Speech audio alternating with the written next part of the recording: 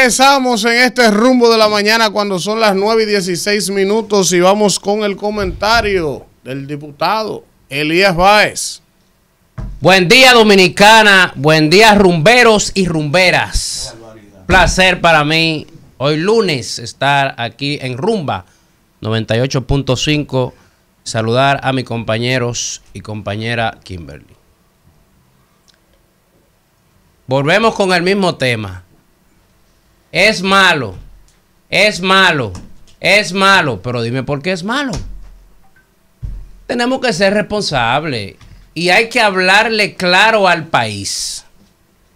Eduardo San Lobatón escribió hoy un artículo en el listín diario, valga, eh, ¿verdad? La publicidad, que yo quiero que ustedes lo busquen, lo lean para que le respondan a la oposición, que nos tienen harto con J, hablando todos los días diciendo, tú, eso está mal, eso está mal, pero no dicen por qué está mal. Miren, ese artículo dice, señores, los siete años que faltan para vencerse el contrato, ustedes saben que el aeropuerto internacional y los aeropuertos necesitan construcciones, hacer más porque el turismo está subiendo.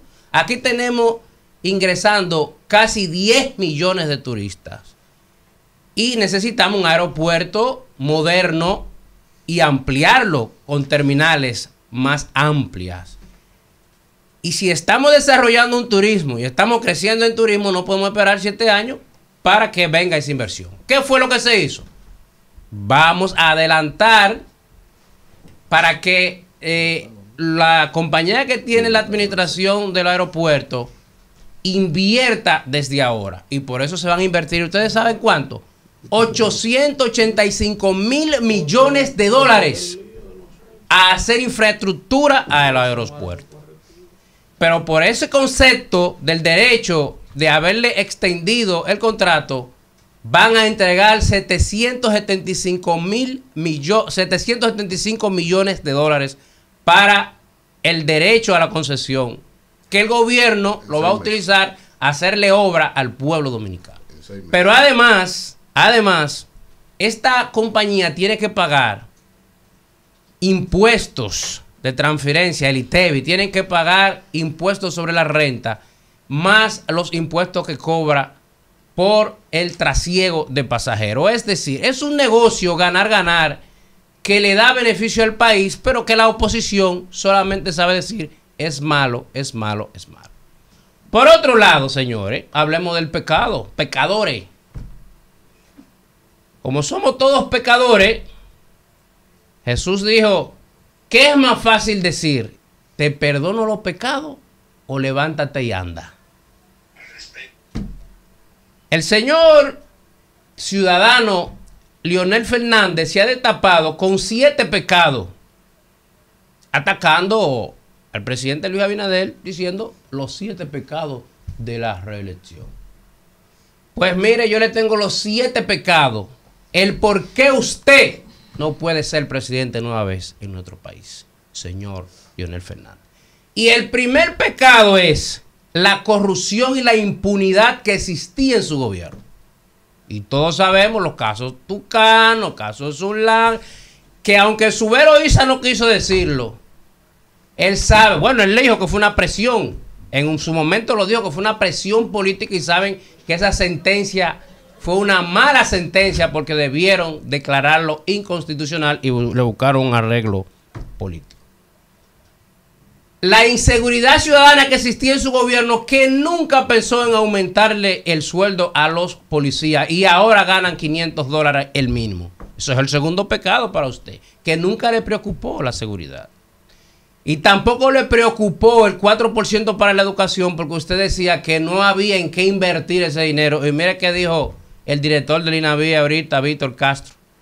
¿Cómo están esos niños recibiendo desayuno, comida y merienda? Que no es una obligación del Estado, pero es una eh, voluntad política del gobierno de turno que hay que agradecerle a Danilo Medina que acogió el 4% para la educación. El tercer pecado es el daño a la economía. Usted dejó un déficit de 200 mil millones de pesos para que Danilo sea presidente en el 2016. Óigase bien, en el 2012. 200 mil millones de pesos. Y usted confesó en Nueva York que iba a invertir 46 mil millones de pesos para que Danilo ganara. Ese.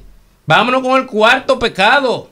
La repartición de las instituciones públicas. Usted puso sus jueces para que haya impunidad. Puso sus Tribunal Superior Electoral para que debarataran el sistema político. Aquí eh, daban sentencia todos los días en contra de los partidos para que sean divididos. Puso su cámara de cuenta, o sea, una repartición total. Ese es su cuarto pecado. Eh, la prostitución de las instituciones públicas. Altas Cortes, Junta Central Electoral y todo por demás. Quinto pecado. Poner el procurador para tener un voto más en el Consejo de la Magistratura para poder poner sus jueces. Es un pecado que yo creo que ese Dios no lo perdona. El, el sexto pecado. En el 2010, usted hizo el pacto de las corbatas azules y puso en la constitución la no reelección. Pero usted sabe con qué fin. No era a favor del, del Estado y de la democracia, era a favor suyo para que Danilo cuando llegara no pudiera, o Danilo o Miguel Vargas, quien llegara, o Hipólito, no pudiera repostularse y usted poder volver porque usted estaba habilitado. Ese es, esa es la democracia que usted dice que defiende. Ese es su pecado. Y el último pecado, el séptimo. Yo vi en TikTok un señor que decía, señor Lionel, usted es una persona buena, ¿cierto? Pero usted gobernó cuatro años. Y luego cuatro años. Y luego cuatro años. ¿A qué usted quiere volver cuatro años más? Por ¿Qué fue lo que dejó en el Estado que usted no pudo hacer en el gobierno? ¿Qué fue lo que usted dejó? ¿O qué es lo que usted quiere ir a hacer? Que entiende que usted tiene que volver a ser presidente de este país. Usted no heredó este, eh, eh, eh, esa silla. Aquí hay demasiada gente con talento dentro de su partido, dentro del otro partido. Deje que la democracia fluya. Una vez usted dijo, el PLD es una fábrica de presidente. Pero sin embargo usted quiere volver por cuarta vez a gobernar este país y con tanto pecado cargado en su espalda, no creo que lo logre. Buenos días.